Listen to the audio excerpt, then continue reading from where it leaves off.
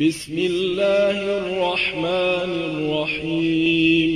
يسر موقع أنا السلفي أن يقدم لكم هذه المادة. الحمد لله والصلاة والسلام على رسول الله وبعد. نهنئ المسلمين جميعا بعيد الأضحى المبارك. نهنئ المسلمين بالعيد الكبير. فيعني رحم الله أياما. كان يسمى فيها هذا العيد بالعيد الكبير. وبالفعل هذا يعني عيدنا الكبير فهو عيد الأضحى. وهو الذي فيه يعني احتفال أكثر من عيد الفطر. فكما في حديث النبي صلى الله عليه وسلم يوم عرفة ويوم النحر وأيام التشريق عيدنا أهل الإسلام. فعيد الأضحى ده العيد الكبير للمسلمين فنهنئ يعني المسلمين عموما بهذا العيد المبارك. وإن كان يعني من لابد من يعني كلمة تتعلق أيضا بالعيد والتهنئة.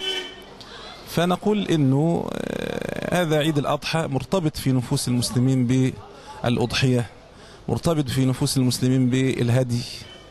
ففي هذه الأيام في هذه الساعات هناك في أرض الله الحرام نسأل الله أن يرزقنا وإياكم جميعا.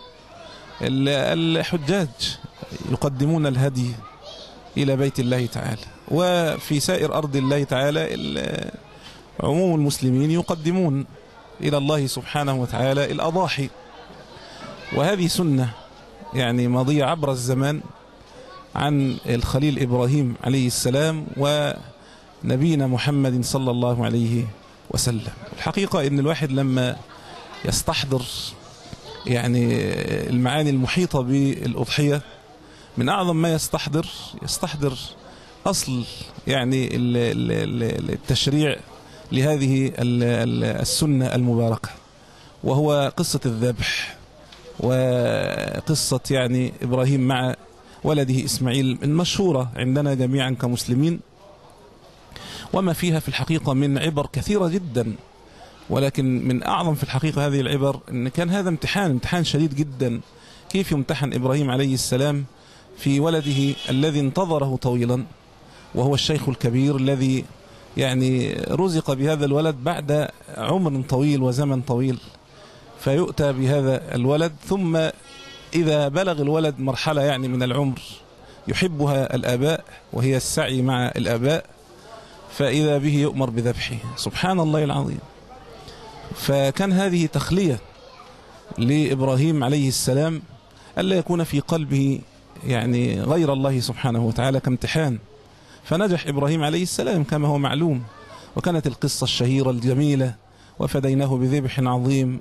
والتي نستشعرها ونستحضرها كلنا في هذه الأيام عند الصفا والمروة وعند السعي ونحو ذلك.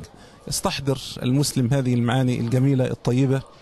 فنسأل الله سبحانه وتعالى أن يرزق المسلمين جميعا الحج والعمرة إلى بيته وأن يتقبل منا ومنكم الأضاحي ويتقبل منا ومنكم سائر الأعمال الصالحة في هذه الأيام. ونهنئ مرة أخرى ونقول لجميع المسلمين بمناسبة عيد الأضحى المبارك تقبل الله منا ومنكم. والسلام عليكم ورحمة الله. قل هذه سبيلي أدعو إلى الله على بصيرة أنا ومن اتبعني وسبحان الله وما أنا من المشركين